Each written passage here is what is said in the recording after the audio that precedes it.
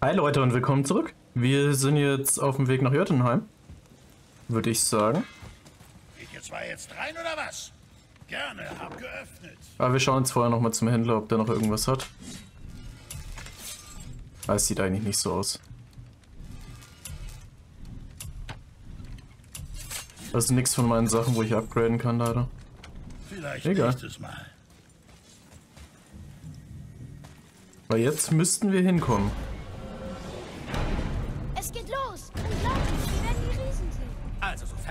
Plan verläuft. Nur zu, stelle Jotunheim ein und dann geht's los. Vermutlich. Das heißt hier vermutlich.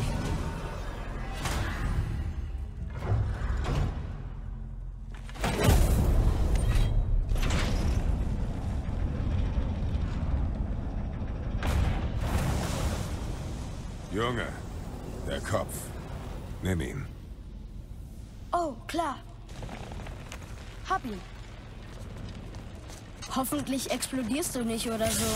Oh, hatte ich nicht bedacht. Äh, vielleicht sollten wir das besprechen. Nee, wird schon gut gehen. Bereit? Das ist unangenehm. Jetzt, Junge!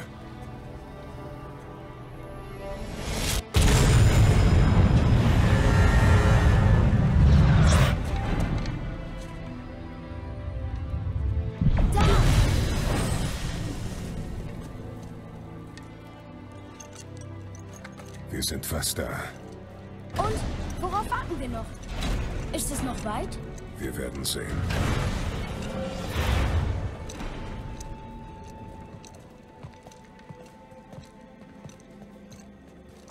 Auf ein Wort, bevor wir fortfahren. Also das Letzte, was ihr beiden da oben braucht, ist ein verwesender Kopf.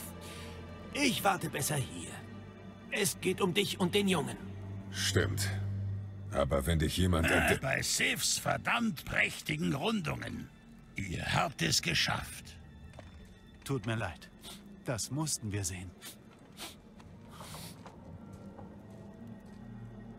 Oh nein. Nein, nein, nein, nein, nein, nein, nein. Ach, verdammt. Na schön. Passt so lange auf den Kopf auf. Oh, oh. Ich kann das. Nein, ich kann es nicht. Na gut. Bereit? Komm.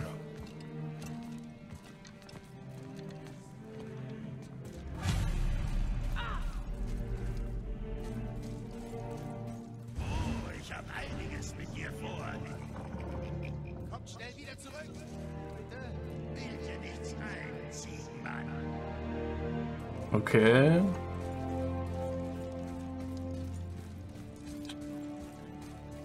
Schauen wir doch mal.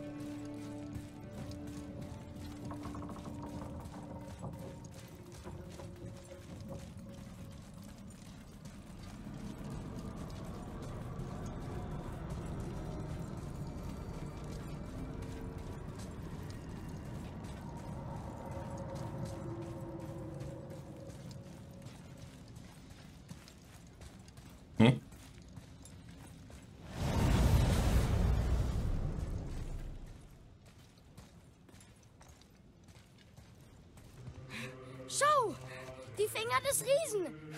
Vor uns ist der höchste Gipfel! Da vorne!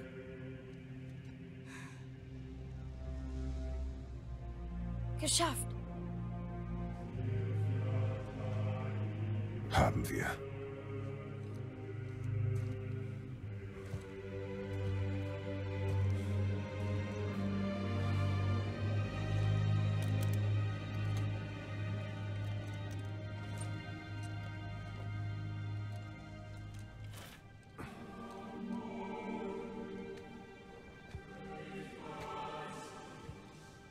Was machst du? Ich will nichts mehr verbergen.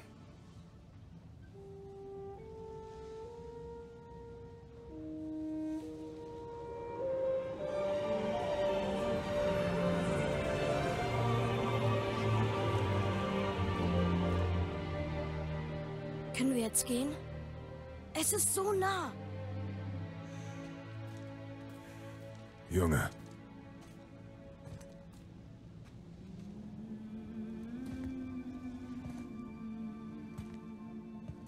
Bist du jetzt bereit?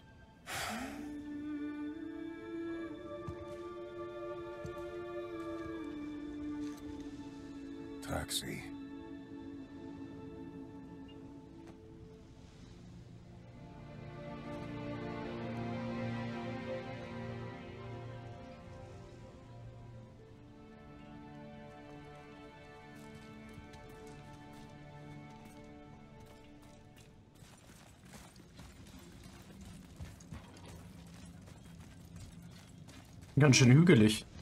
Junge, Nichts. Dachte nur, ich müsste Stimmen hören.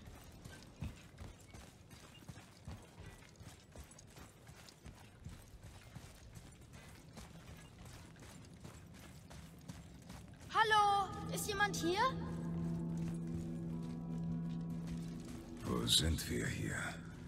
Sie sind wohl beim Verlassen von Midgard hier durchgekommen. Der Rest von ihnen.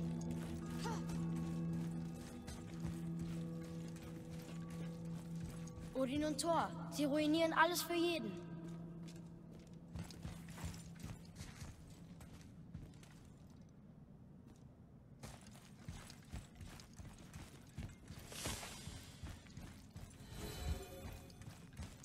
Hm, wer ist der Wächter?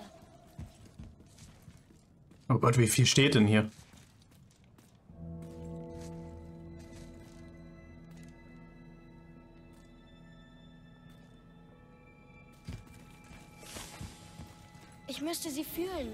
Ich tu's nicht. Dieser Ort ist tot. Was ist passiert? Warum hat Mutter uns hierher geschickt? Eine Frage ist beantwortet und zwei neue stellen sich.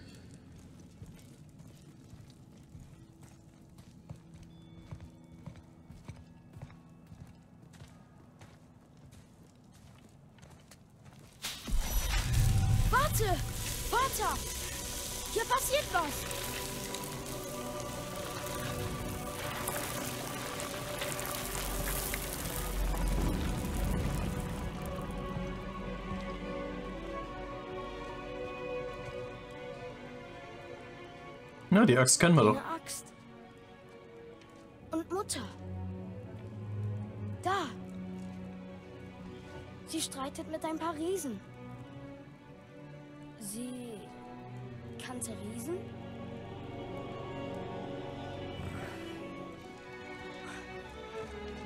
Das sind wir. Da trafen wir zum ersten Mal die Weltenschlange. Aber wie? Unser Kampf mit Baldur.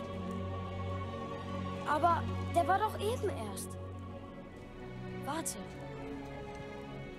Sie wussten alles, was geschehen würde. Der Drache im Berg, der Steinmetz. Diese Zeichnungen. Das ist unsere Geschichte. Nein. Deine Geschichte. Aber was bedeutet das? Dass ich nicht der Einzige war, der Geheimnisse hatte.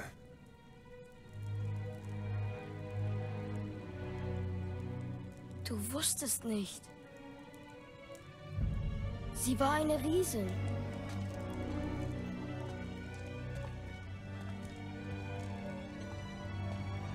Ich bin ein Riese.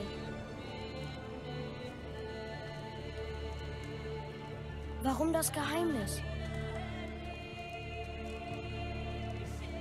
Sie schickte uns her, damit wir das hier finden. Aber warum so umständlich? Deine Mutter hatte sicher Gründe. Baldur war gar nicht hinter mir her. Er ist die ganze Zeit ihr gefolgt, ohne zu wissen, dass sie nur Asche ist. Sie hatte einen Plan für uns. Dem vertraue ich. Egal was es ist. Außerdem lag sie noch nicht falsch. Na komm. Wir sind dem Ende schon so nah. Ja. Ja, sind wir. Hm, ja.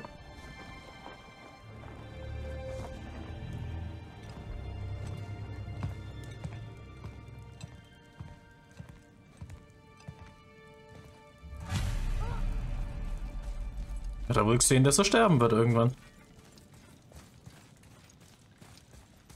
Sieh nur. Es ist Mutters. Sie war hier.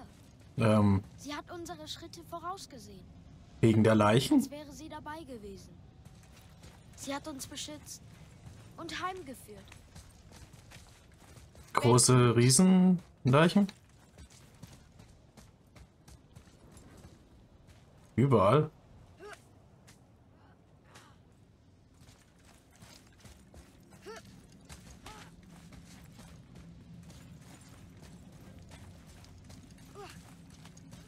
Die Flucht wohl nicht geschafft.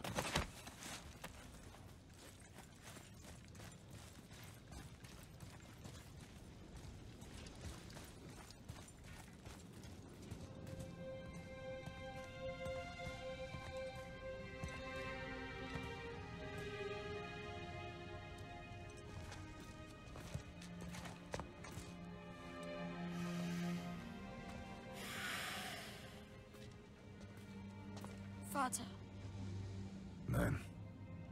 Wir tun es gemeinsam. Sohn.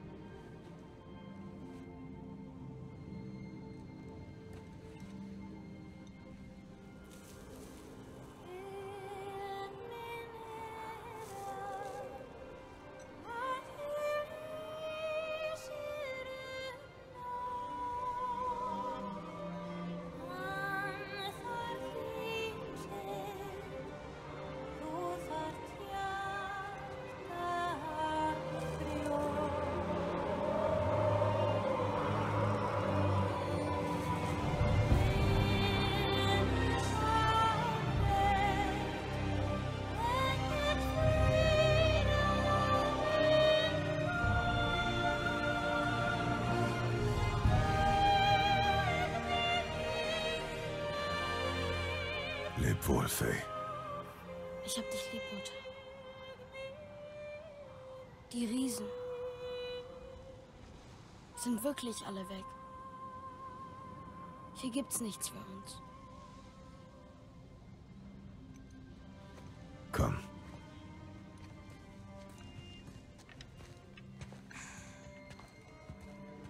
Also, Mutter war eine Riesin.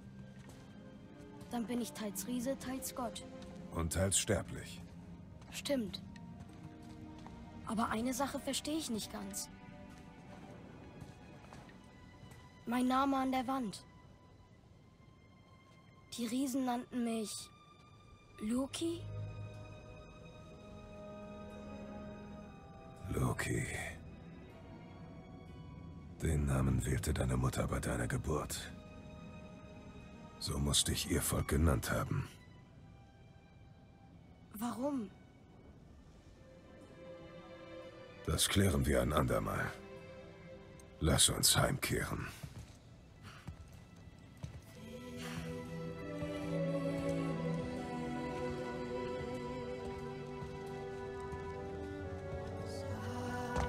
Loki also. Zum Glück ist es eine andere Lore als bei Marvel. Jetzt ergibt wohl alles einen Sinn, wieso wir sie herbringen sollten, zu ihrem Volk. Aber wusste sie, dass es hier so aussieht?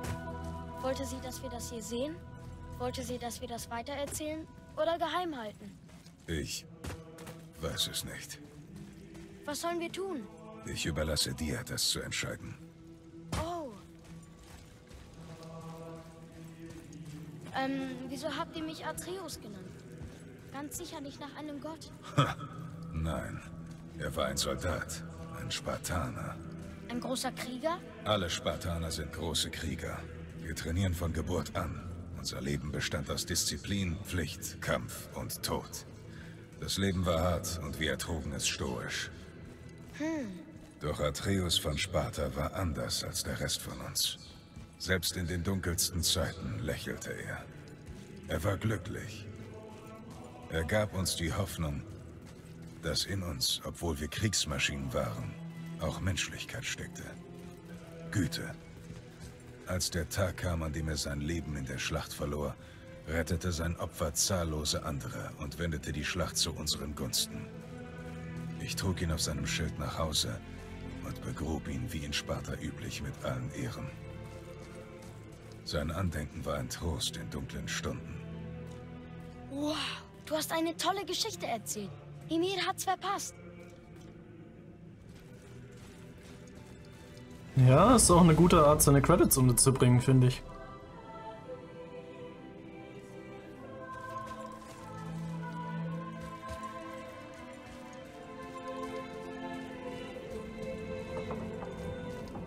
Kein langweiliger, kein langweiliger Abspann wie, wie sonst immer. Ich verstehe, wenn du nach Hause willst. Aber ich wette, da draußen sind noch ein paar Valkyren, die wir befreien können. Oder jemand anders, der Hilfe braucht. Vielleicht hat uns Mutter auch hierher geschickt, um anderen zu helfen. Ich meine, was würde Atreus von Sparta tun? Und was würde Loki tun? Komischer Name. Gut, dass wir deinen genommen haben.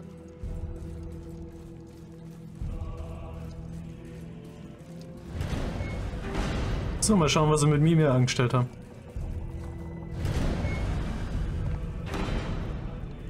Jungs, bin ich vielleicht froh. Ich habe die Nase voll vom Liebreiz der Zwerge. Was war denn Mimir? Sie haben unangenehm ausgiebig Maß genommen und sich anschließend über das Wetter gezankt. Wohin sollen wir dich bringen? Wie wär's denn vielleicht mit irgendwo anders hin?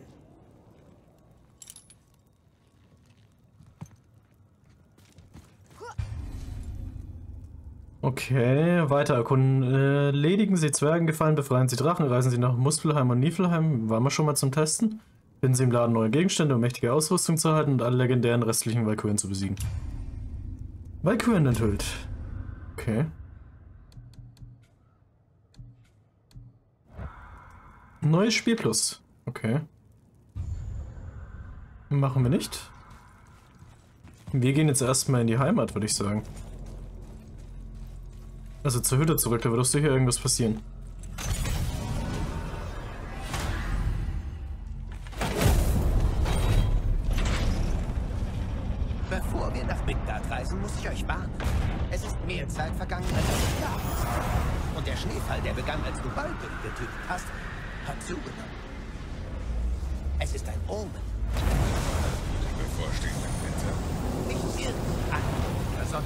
So harter, dass er drei Sommer lang dauert.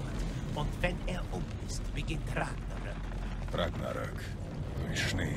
Ja, Schnee, noch mehr Schnee und dann das Ende der verdammten Welt. Ungefähr in der Reihenfolge. Noch eine Prophezeiung.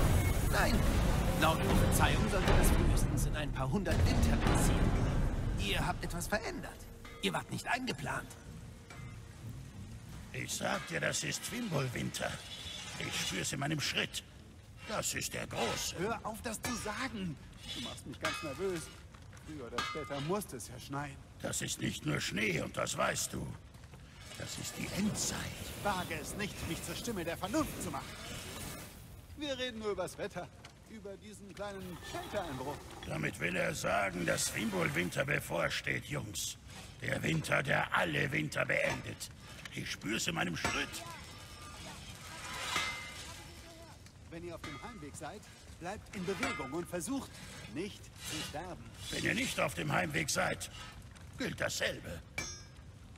Okay, aber die Ports funktionieren noch, oder? Weil da hatten wir ja einen in unserer Hütte. Zu Hause. Gehen wir doch mal hin.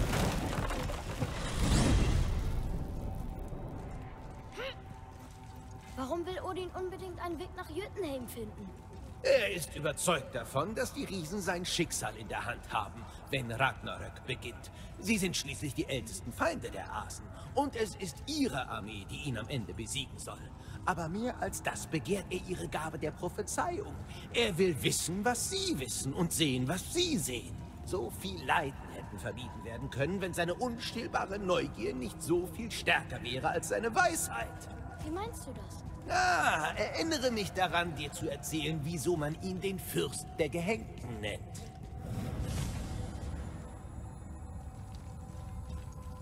Irgendwann mal. Ja, ist ein bisschen Schnee, aber nicht sonderlich viel mehr, Endlich oder? daheim. Kommt mir wie eine Ewigkeit vor. Etwas zugig vielleicht, aber viel besser als ständig Baumrinde in der Hose zu haben.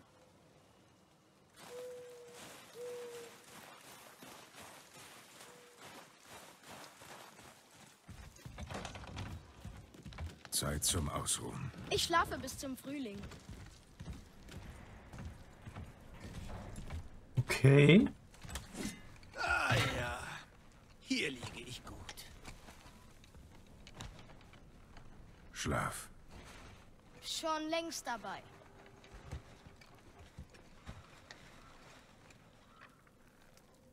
Und am Ende war es nur ein Traum. Nein, natürlich nicht.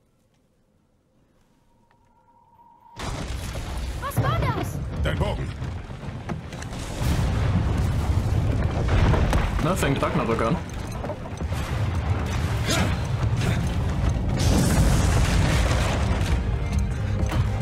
Oder ist Odin da?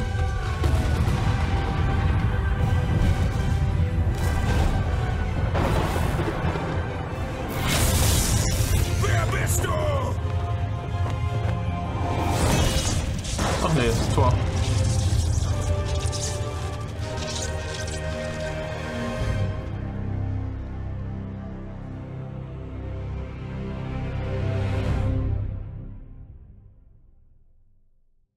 Finito?